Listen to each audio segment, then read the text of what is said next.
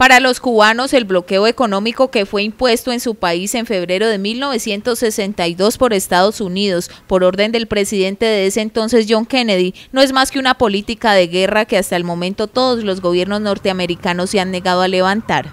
Así lo planteó el exministro de Estado José Luis Rodríguez, presente en la Semana de Fraternidad Colombo-Cubana que se cumple en Cali y bueno, se ha venido endureciendo a lo largo de los años, se ha mm, fortalecido el bloqueo de una manera, yo diría que brutal.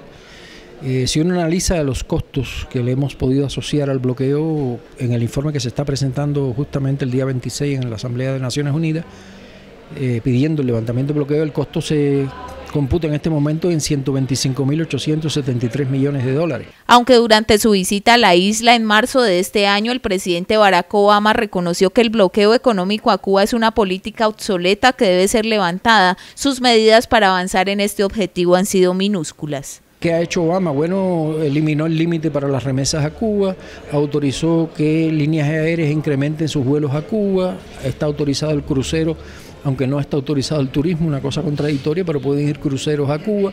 Y esto todo, cuando usted analiza el conjunto, no va al corazón del bloqueo. Sin embargo, los cubanos temen que estos pequeños avances se vayan al cesto de la basura con la posible llegada de Donald Trump al poder.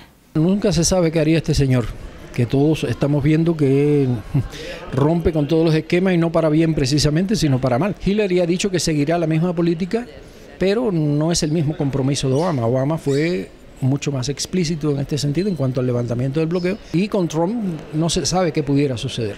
Mm, imaginémonos lo peor en este sentido y eso pudiera ser un retroceso que esperamos que no suceda. El gobierno de Cuba seguirá solicitando el apoyo de Naciones Unidas para exigirle a Estados Unidos que produzca cuanto antes el levantamiento de este bloqueo que tiene a su país en una grave crisis económica desde hace 54 años.